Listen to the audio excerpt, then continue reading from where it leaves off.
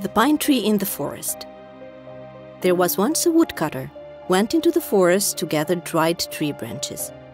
Although he was a woodcutter, he never cut the living tree branches because he knew it would hurt the trees. He only cut the dried up branches, thus helping the trees develop further. But in those parts there also lived another woodcutter who didn't care at all about the trees.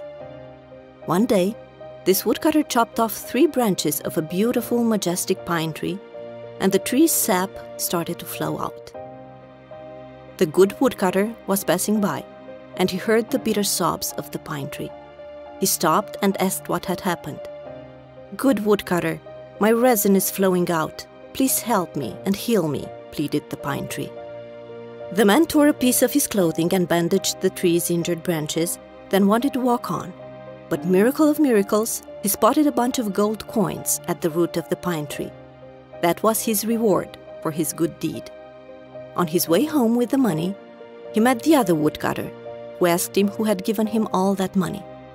The good woodcutter said it had been a gift from the pine tree. As soon as he heard that, the greedy woodcutter went to the pine tree himself. But instead of giving him money, the pine tree splashed him with sticky resin from head to toe so the heartless woodcutter got his much deserved punishment.